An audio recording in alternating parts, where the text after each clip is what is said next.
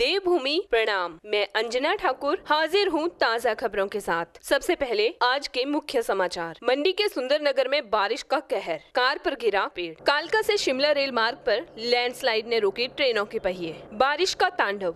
ऊना में घरों, दुकानों और सरकारी दफ्तरों में पानी ही पानी। मंडी में रिटर्न बूथ का शुभारंभ। आंगनबाड़ी कार्यकर्ता रिक्त पदों हेतु वॉक इन इंटरव्यू 16 अगस्त को। अब समाचार विस्तार से। मंडी के सुंदर नगर में बारिश का कहर, कार पर गिरा पेड़। मंडी के सुंदर नगर में पिछले तीन दिनों से बारिश रुकने का नाम ही नहीं ले रही। उपमंडल सुंदर नगर में सुबह एक भारी पेड़ कार पर गिर गया, जिससे कार क्षतिग्रस्त हो गई। जानकारी के अनुसार कार ग्राउंड में पार्क की गई थी। विभाग के अधिशासी अभियंता विकास शर्मा और सहायक अभियंता अनिल ने अन्य कर्मचारियों के साथ मौके पर पहुंचकर हालात का जायजा लिया।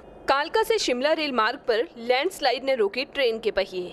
भारी बारिश के कारण कालका शिमला रेल मार्ग एक बार फिर से बाधित हुआ। रेलवे ट्रैक पर भारी मात्रा में मलबा गिर जाने से इस रूट पर चलने वाली सभी ट्रेनों को रोक दिया गया है। बारिश का तांडव, ऊना में घरों, दुकानों और सरकारी दफ्तरों में पानी ही पानी। लगातार हो रही बारिश से ऊना मुख्यालय में स्थित मिनी सचिवालय और जिला न्यायालय में भी पानी भर गया है। यहाँ तक कि एसपी कार्यालय ने तो तालाब का ही रूप धारण कर लिया है। मंडी में रिटर्न फाइलिंग बूथ का शुभारंभ। संयुक्त आयुक्त मध्य क्षेत्र मंडी रमेश शर्मा ने शुक्रवार को कर एवं आबकारी कार्यालय में रिटर्न बूथ का शुभारंभ किया। रिटर्न फाइलिंग बूथ में कोई भी व्यापारी अपनी मासिक, त्रैमासिक और वार्षिक रिटर्न भर सकता है। आंगनबाड़ी कार्यकर्ता के रिक्त पदों हेतु वॉक इन इंटरव्यू 16 अगस्त को। बाल विकास सेवाएँ योजना के अंतर्गत की जाएगी रिक्त पदों की भर्ती। ये जानकारी बाल विकास परियोजना अधिकारी बिजड़ी हरिदास भाटिया ने दी। तो ये थे आज के समाचार। कल फिर आपसे मुलाकात होगी। देवभूमि